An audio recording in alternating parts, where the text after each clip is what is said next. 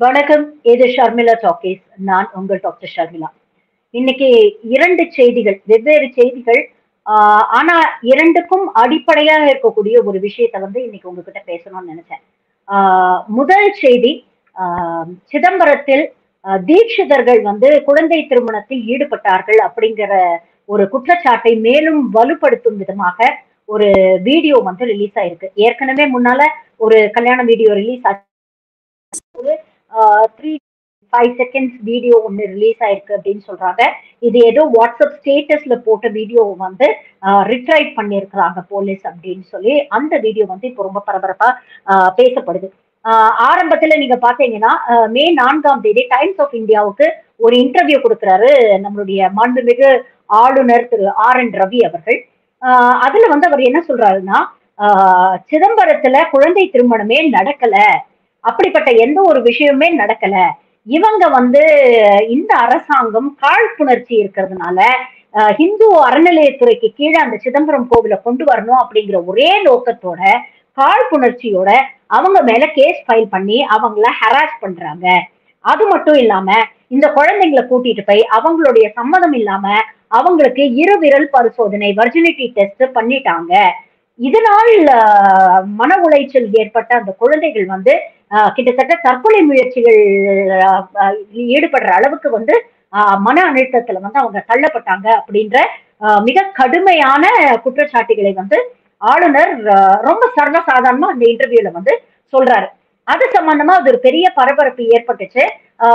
In fact நீங்க பாத்தீங்கன்னா கடலூர்ல இருக்கக்கூடிய சோசியல் வெல்ஃபேர் போர்டு வந்து தொடர்ந்து இந்த தீட்சிதர்கள் இது போன்ற குழந்தை திருமணத்தில் ஈடுபடுறாங்கன்னு அவங்க மேல வந்து புகார் கொடுக்க போலீஸ் வந்து இன்வெஸ்டிகேட் பண்ணி கடந்த செப்டம்பர் அக்டோபர் மாதம் நினைக்கிறேன் இரண்டாயிரத்தி இருபத்தி ரெண்டுல வந்து சம்பந்தப்பட்ட நபர்களை வந்து கைது பண்றாங்க. ஒரு மூன்று பெண்கள் அஞ்சாறு ஆண்கள் நினைக்கிறேன் அவங்கள வந்து கைது பண்றாங்க. கைது பண்ணோன்னு இந்த சிதம்பரம் தீட்சிதர்கள் எல்லாரும் பாத்தீங்கன்னா முன்னூறுக்கும் மேற்பட்டோர் நடு ரோட்ல வந்து உட்கார்ந்து தர்ணா பண்றாங்க. நீங்க எப்படி வந்து எங்களை கைது பண்ணலாம்? இந்த குற்றச்சாட்டுலாம் முற்றிலும் போய் அப்படின்னு சொல்லி அதை மறுத்து தர்ணா பண்ணாங்க அப்படிங்கறதெல்லாம் நம்ம பார்த்தோம். அதுக்கப்புறம் இந்த பிரச்சனை வந்து தொடர்ந்து நீடிச்சுட்டே இருக்கு. ஆளுநர் சொன்ன இந்த விஷயம் வந்து திடீர்னு ஒரு பெரிய பரபரப்பை வந்து ஏற்படுத்துச்சு. ஆஹ் கிட்டத்தட்ட வந்து இங்க இருக்கக்கூடிய போலீஸ் டிபார்ட்மெண்ட் சோஷியல் வெல்ஃபேர் ஆர்கனைசேஷன்ல ஒர்க் பண்ணக்கூடிய சோஷியல் ஒர்க்கர்ஸ் மெடிக்கல் ஃப்ரெட்டர்னிட்டியில ஒர்க் பண்ணக்கூடிய டாக்டர்ஸ் மூன்று பேர் மேலயும் இவர் வந்து குற்றச்சாட்டு வைக்கிறாரு. மூன்று பேர் மேலேயும் கடுமையான குற்றச்சாட்டுகளை இவர் வச்சிருக்காரு அப்படிங்கிறது ஒரு பெரிய இஷ்யூவா பரபரப்பா ஆகுது. அது ஆனோடனே என்ன ஆகுதுன்னு பாத்தீங்கன்னா என்சிபிசிஆர் வந்து இந்த national protection of child rights organisation வந்து என்ன பண்றாங்கன்னா இந்த விஷயத்த சூமோட்டோவா கையில எடுக்கிறாங்க. அங்க இருந்து ஒருத்தரை வந்து நாங்க அனுப்புவோம். இது வந்து ஆளுநர் சொல்லக்கூடிய இந்த குற்றச்சாட்டில் உண்மை இருக்கிறதா? முக்கியமா இந்த இருவிரல் பரிசோதனை செய்யப்பட்டது அப்படிங்கிறது உண்மையா? அப்படிங்கிற கேள்வியை வந்து நமக்கு விடை தெரியணும் அப்படின்ட்டு அங்கேருந்து ஒரு ஆள் ஒருத்தரை அனுப்புறாங்க அவங்களுடைய ரெப்ரசன்டேட்டிவ் இந்த என்சிபிஐ பிசிஆர் ரெப்ரசன்டேட்டிவ் யாருன்னு பாத்தீங்கன்னா டாக்டர் ஆர் ஜி ஆனந்த் அப்படிங்கிற ஒரு மருத்துவர். ஆனா இவருடைய பின்புலம் என்ன அப்படின்னு பாத்தீங்கன்னா இந்த ஆர்ஜி ஆனந்த் அப்படிங்கிறவர் பாஜகவுல இளைஞர் அணி தலைவராய் இருந்திருக்கிறாரு அப்படிங்கிற செய்திகள் வந்து பிற்காலத்துல வெளியில வருது. இந்த ஆர்ஜி ஆனந்த் அங்க போய் விசாரணை நடத்துறாரு எல்லார்கிட்டையும் பேசுறாரு சம்பந்தப்பட்ட தீட்சிதர்களுக்கு எல்லாம் பேசுறாரு டாக்டர்ஸ் பேசுறாரு போலீஸ்ட பேசுறாரு. எல்லாருக்கிட்டையும் பேசிட்டு வெளியில வந்து ஒரு பிரஸ் இன்டர்வியூல வந்து என்ன சொல்றாருன்னா ஆஹ் பரிசோதனை நடக்கல. ஆனா இந்த குழந்தைங்களுடைய பிரைவேட் பார்ட்ஸ் வந்து தொட்டு டாக்டர்ஸ் எக்ஸாமின் பண்ணியிருக்கிறாங்க. அப்படிங்கிற ஒரு விஷயத்த பதிவு பண்றாரு. இதை சொன்னோன்னே ஆஹ், எல்லாருமே வந்து திரும்ப மீண்டும் ஒரு பரபரப்பு வருது. அப்ப ஆளுநர் வந்து பொய் சொல்லிட்டாரா? அப்ப ஆளுநர் வந்து தெரிஞ்சே பொய் சொல்லியிருக்கிறாரு. அப்ப ஆளுநர் மீது வந்து ஆளுநர் மன்னிப்பு கேட்கணும். இல்ல ஆளுநர் மீது சட்ட ரீதியாக ஏதாவது நடவடிக்கை எடுக்க முடியுமா? ஆஹ், அப்படின்னு பார்த்து அவர் மேல நடவடிக்கை எடுக்கணும் அப்படிங்கிற ஒரு குரல் வலுக்க தொடங்கணும்னு அடுத்த நாளே இதே ஆர்ஜி ஆனந்த் அப்படிங்கிறவரு வேற ஒரு பிரஸ் மீட்ல என்ன சொல்றாரு? நான் அப்படி சொல்லவே இல்லை. இருவிரல் பரிசோதனை நடந்திருக்கு.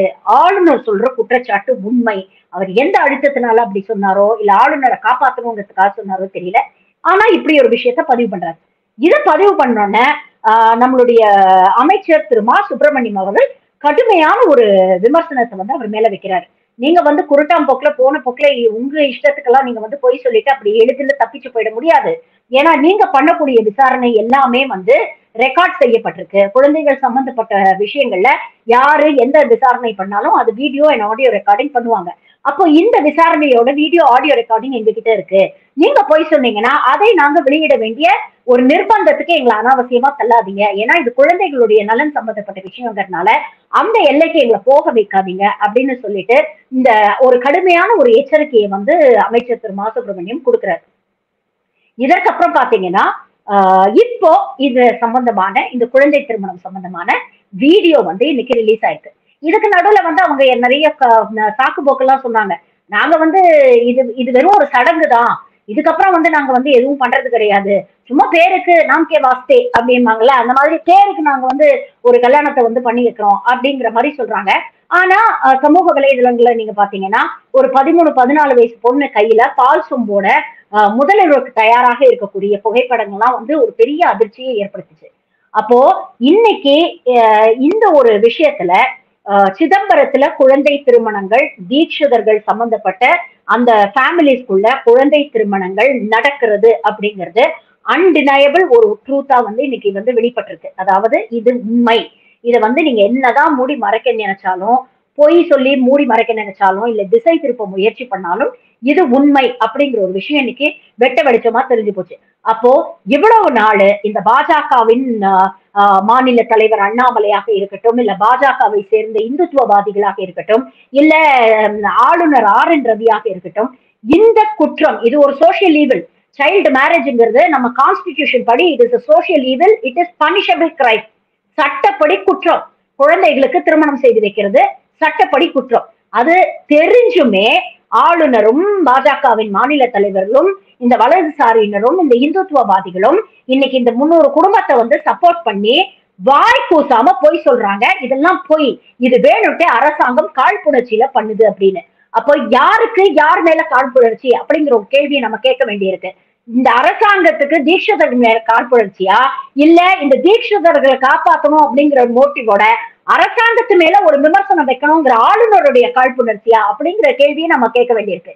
நீங்க வந்து அரசாங்கத்தை மொத்தம் அவமானப்படுத்தலைங்க இந்த பொய்யை சொல்லி. நீங்க இந்த பொய்யை சொல்லி ஒட்டுமொத்த போலீஸ் டிபார்ட்மெண்ட்டையும் அவமானப்படுத்துறீங்க. ஒட்டுமொத்த சோஷியல் ஒர்க்கர்ஸையும் நீங்க அவமானப்படுத்துறீங்க. ஒட்டுமொத்த டாக்டர்ஸையும் நீங்க அவமானப்படுத்துறீங்க. சட்டத்துக்கு புறம்பான ஒரு இருவரல் பரிசோதனையை அவங்க செஞ்சாங்க அப்படின்னு சொல்லி வாய் பூசாம ஒரு நேஷனல் டெய்லியில வந்து நீங்க பத்திரிகையில பேட்டி கொடுக்குறீங்க. என்ன தைரியத்துல இந்த விஷயத்த நீங்க பண்றீங்க? அப்ப இங்க இருக்கிறவங்க எல்லாம் பார்த்துக்கிட்டு பேசாம இருக்கிறதுக்கு ஈச்ச வாங்கிக்கலாம் நம்ம எல்லாம் அவ்வளவு கஷ்டப்பட்டு படிச்சு டாக்டர்ஸ் வந்து ஒரு ஒரு அவங்களுடைய ஒரு தொழிலை வந்து ஒரு சர்வீஸா நினைச்சு அவங்க செஞ்சுட்டு இருக்காங்க. கொஞ்சம் கூட வாய் கூசாம இருவரல் பரிசோ பரிசோதனை பண்ணாங்க அப்படின்னு சொல்றீங்க. அப்ப மெடிக்கல் எத்திக்ஸ் அப்படிங்கறது இதெல்லாம் வந்து என்னைக்குமே யோசிச்சு பார்க்க மாட்டீங்களா நீங்கெல்லாம்? எல்லாரும் கஷ்டப்பட்டு வந்துதான் ஒரு தொழில் செஞ்சுட்டு இருக்காங்க. சட்டத்துக்கு விரோதமா ஏதாவது ஒரு விஷயம் செஞ்சா அவங்களுடைய லைசன்ஸ் கேன்சல் பண்ணப்படும் அப்படிங்கறது டாக்டர்ஸ்க்கு தெரியாதா? அந்த அளவுக்கு குறைஞ்சபட்ச ரெஸ்பான்சிபிலிட்டி கூடவா டாக்டர்ஸ்க்கு இருக்காது? அதுவும் குழந்தைகள் சம்பந்தப்பட்ட விஷயத்துல இவ்வளவு அலட்சியமா இருந்துருவாங்களா யாராவது? இல்ல இப்படிப்பட்ட ஒரு பொய்ய சும்மா மேலோட்டமா போற போக்குல சொல்லிட்டு இன்னைக்கு இருக்கக்கூடிய ஒரு இன்ஃபர்மேஷன் ஈஸியா வந்து உண்மையா இல்லையாங்க வெரிஃபை பண்ணக்கூடிய ஒரு காலகட்டத்துல நாம இருக்கோம். சர்வசாதாரணமா இப்படி ஒரு பொய்ய சொல்லிட்டு அதை கடந்து போயிட முடியும்னு நினைச்சீங்களா? அப்போ இந்த விஷயத்துல ஒரு ஒட்டுமொத்த இந்துத்துவ ஈகோ சிஸ்டமும் இந்த சிதம்பரம் தீட்சிதர்களை காப்பாத்த வந்து நிக்குதுன்னா அதுக்கு என்ன காரணம்? இன்னைக்கு இந்த பாஜக அரசாங்கம் ஆளும் அரசாங்கம் அரசியல்வாதிகளுக்கு சப்போர்ட்டா நிக்கும். இல்லைன்னா ஆதிக்க சாதியினருக்கு சப்போர்ட்டா நிக்கும். இந்த விஷயங்கள் வந்து இதுல இருந்து ரொம்ப கிளியரா நமக்கு தெரியுது. இது ஒரு இன்சிடென்ட் இதே பேரலா இன்னொரு இன்சிடென்ட் சொல்றேன். இன்னைக்கு இந்த பிரிஜ்பூஷன் சரண் சிங் அப்படின்னு ஒரு பாஜக எம்பி ஒரு பொம்பளை பொறுக்கி ஒருத்தன் இருக்கான் தெரியுமா? இவனை எதிர்த்து கிட்டத்தட்ட நாலு மாசமா வந்து மல்யுத்த வீராங்கனைகள் வந்து போராடிட்டு இருக்கிறாங்க. நியாயம் எனும் போராடிட்டு இருக்காங்க. அதுல வந்து ஏழு வீராங்கனைகள் அவர் மேல குற்றம் சாட்டி இருக்கிறாங்க அதுல ஒரு குழந்தை வந்து மைனர் குழந்தை. அப்ப அந்த குழந்தையுடைய குற்றச்சாட்டு பிரகாரம் தான் அவர் மேல பாக்ஸோ சட்டத்தின் கீழ் எஃப்ஐஆர் பதிவு செய்யப்பட்டிருக்கு. இன்னைக்கு அந்த குழந்தை அந்த கம்ப்ளைண்ட்டை வாபஸ் வாங்கியிருக்குது. கம்ப்ளைண்ட்டை வாபஸ் வாங்கிட்டு அந்த அவங்க அப்பா அந்த குழந்தையோட அப்பா சொல்றாரு என் பொண்ணால முடியல. தினம் தினம் இதை நினைச்சு நினைச்சு என் பொண்ணு படுற வேதனை என்னால பார்த்துட்டு சகிக்க முடியல. இதுல எங்களுக்கு நியாயம் கிடைக்குங்கிற நம்பிக்கையே எங்களுக்கு இல்ல. அப்படிங்கிற ஒரு விஷயத்த பதிவு பண்றாரு. அப்ப எந்த அளவுக்கு இவங்க அரசியல் அழுத்தம் கொடுத்திருந்தா எந்த அளவுக்கு அந்த அப்பாவை மிரட்டி இருந்தா அவங்க இன்னைக்கு அந்த கம்ப்ளைண்ட்டை வாபஸ் வாங்குவாங்க? இது மட்டும் இல்லாம அங்க போராடக்கூடிய வீராங்கனைகளை வந்து பொய் செய்திகள் பரப்புறாங்க. இவங்க வந்து ஆல்ரெடி வந்து இவங்க ரயில்வேஸ்ல வந்து ஜாப் போய் ஜாயின் பண்ணிட்டாங்க. அதனால இவங்க வந்து இந்த போராட்டத்துல இருந்து பின்வாங்கிக்க போறாங்க. ஏன்னா அரசாங்க வேலையை விட்டு கொடுக்க எங்களுக்கு மனசு இல்லைன்னு. அதுக்கப்புறம் அவங்களே அதை மறுத்து செய்தி போட்டிருக்காங்க. எங்களுக்கு வேலை இல்லைனாலும் பரவாயில்ல. இது எங்க வாழ்க்கை சம்பந்தப்பட்ட பிரச்சனை. எங்களுக்கு வாழ்க்கையில வந்து வேலையை விட எங்களுடைய நிம்மதி எங்க சந்தோஷம் தான் எங்களுக்கு முக்கியம். எங்களுக்கு வேலையே இல்லைனாலும் பரவாயில்ல. ஆனா எங்க போராட்டத்தை நாங்க வாபஸ் வாங்க மாட்டோம் அப்படின்னு சொல்லியிருக்காங்க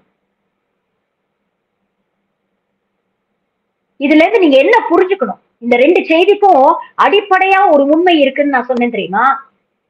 இன்னைக்கு இருக்கக்கூடிய இந்த ஆளும் பாஜக அரசாங்கம் ஒண்ணு அரசியல்வாதிக்கு துணை போகும் இல்ல ஆதிக்க சாதிக்கு துணை போகும்.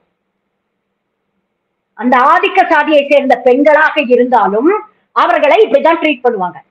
இன்னைக்கு போராடக்கூடிய அந்த பெண்களும் சரி இல்ல சிதம்பரத்தில் இருக்கக்கூடிய பெண்களும் சரி இந்து பெண்கள் தானே? உயர் சாதி வகுப்பை சேர்ந்த பெண்கள் தானே? நீங்க தானே எல்லாத்துக்கும் இந்துக்களை ஒன்று கொடுங்கள் இந்துக்களை ஒன்று கொடுங்கள்னு சொல்றீங்க. அப்ப உங்களுடைய இந்துக்கள் அப்படின்னு சொல்லக்கூடிய ஒரு கம்யூனிட்டியை சேர்ந்த பெண்களையே நீங்க இவ்வளவு கேவலமா ட்ரீட் பண்றீங்களே? பதிமூணு வயசுலாம் கல்யாணம் பண்ணி வைக்கிற வயசா? பதிமூணு பதினாறு வயசுல கல்யாணம் பண்ணி வச்சுட்டு பதினஞ்சு பதினாறு வயசுல குழந்தைய பெற்றுட்டு அந்த குழந்தை வந்து உடல் ரீதியாக எந்த அளவுக்கு கஷ்டங்களை அனுபவிக்கும்? உளவியல் ரீதியாக எந்த அளவுக்கு கஷ்டங்களை அனுபவிக்கும்? அந்த குழந்தையுடைய வாழ்க்கை ஆரம்பிக்கிறதுக்கு முன்னாலே அதை குழி தோண்டி புதைச்சிடுறீங்களே? அதை பத்தி எல்லாம் கொஞ்சமா அது யோசிச்சு பாத்தீங்களா? கர்நாடகால ஹிஜாப் போடக்கூடாதுன்னு ஒரு ரூல் கொண்டு வந்தாங்க. ஆனா ஹிஜாப் போட்ட பொண்ணு தான் கஷ்டப்பட்டு படிச்சு இன்னைக்கு ஸ்டேட் ஃபர்ஸ்ட் வந்திருக்கு. எந்த நூற்றாண்டுல நம்ம வாழ்ந்துட்டு இருக்கோம்? பெண்கள் நல்லா படிச்சு முன்னேறணும். எல்லா துறைகளிலும் சாதிக்கணும் அப்படின்னு சொல்லக்கூடிய ஒரு நூற்றாண்டுல நீங்க வந்து பதிமூணு வயசுல அந்த குழந்தைய கல்யாணம் பண்ணி வச்சுட்டு பதினஞ்சு வயசுல அந்த குழந்தை ரெண்டு ரெண்டு பிள்ளைய பெற்றுட்டு வாழ்க்கையே சூரியமாக்கி விட்டுறீங்க. பதினஞ்சு வயசெல்லாம் புள்ள பெற வயசா? அதுல உடல் ரீதியாக எவ்வளவு பிரச்சனைகள் வரும்? குறப்பிரசவம் வரும் பிரசவத்துல பிரச்சனைகள் வரலாம் உயிரே கூட போகலாம். அப்படி உயிர் படிச்சுன்னா அந்த பிறந்த குழந்தைய யார் பாத்துக்கிறது அந்த குழந்தையோடைய எதிர்காலம் என்ன? இதெல்லாம் பத்தி கொஞ்சமாவது யோசிச்சு பாக்குறீங்களா இத பத்தி எல்லாம் எந்த யோசனையும் இல்லாம இவங்க தொடர்ந்து இவங்களுடைய சமூகத்தை காப்பாற்றணும் இவங்க கோவில் சொத்தை வந்து விட்டு கொடுத்துட கூடாதுங்கிற ஒரே காரணத்துக்காக தொடர்ந்து இந்த மாதிரி குழந்தை திருமணங்கள் பண்ணுவாங்க. இத கொஞ்சம் கூட மனசாட்சியே இல்லாம இந்திய அரசியலமைப்பு சட்டத்துக்கு கட்டுப்பட்ட ஒரு ஆளுநர் சப்போர்ட் பண்ணி அவங்களுக்காக போய் சொல்றாரு.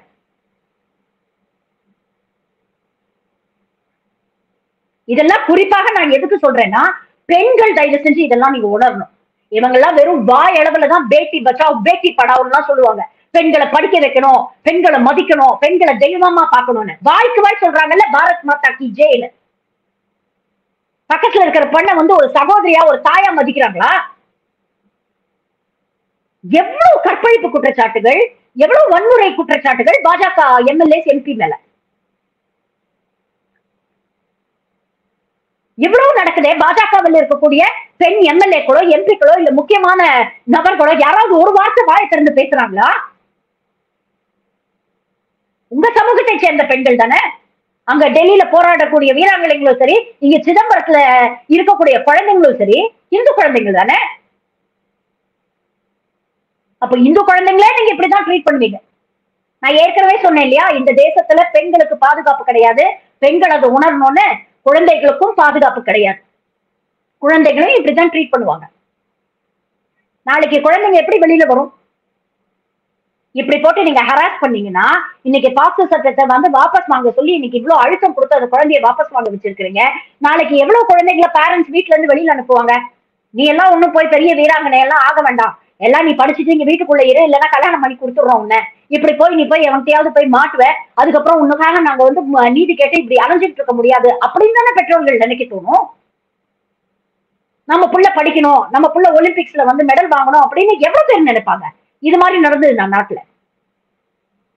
அப்ப பெண்களுக்கு பாதுகாப்பு இருக்கு இந்த நாட்டுல அப்படிங்கிற விஷயத்த மக்களுக்கு அந்த அந்த ஒரு அஷூரன்ஸ கொடுக்க வேண்டியது யாரு? அரசாங்கம் இல்லையா? இன்னைக்கு உலக அளவிலே பெண்களுக்கு பாதுகாப்பற்ற ஒரு நாடு இந்தியா அப்படின்னு சொல்றான் உலக அளவுல எவ்வளவு கேவலமான ஒரு விஷயம். இது ஆண்கள் மட்டும் இல்ல பெண்கள் முக்கியமா ரியலைஸ் பண்ணணும். இன்னைக்கு இன்னொரு வீட்டுல நடக்கிறது நாளைக்கு உங்க வீட்லயும் நடக்கலாம். அப்படி நடக்கும்போது இந்த சமூகம் உங்களைத்தான் இழிவாக பேசும். நீ ஏன் அங்க போன? நீ எதுக்கு இந்த ப- இதுல பார்ட்டிசிபேட் பண்ண? உன்னை யார் அங்க போக சொன்னா? நீ ஏன் இந்த மாதிரி ட்ரெஸ் பண்ணன்னு உங்களை தான் நோக்கி கேள்வி கேட்கும். தனக்கு வந்தாதான் தலைவலியும் காய்ச்சலும் தெரியணுங்கிற அவசியம் இல்லை. அடுத்தனுக்கு வரும்போதே நல்ல மாட்டுக்கு ஒரு சூடு ஒருத்தரை பார்த்தா நம்ம புரிஞ்சுக்கணும். தயவு செஞ்சு பெண்களே புரிஞ்சுக்குங்க. இதே அரசாங்கம் தொடர்ந்ததுன்னா நாளைக்கு உங்க குழந்தைகளுக்கும் பாதுகாப்பு இல்லாம போயிடும். இதெல்லாம் எதுக்கு சொல்றேன்னா இரண்டாயிரத்தி இருபத்தி நாலு வருது. உங்கள் ஓட்டு உங்கள் கையில்.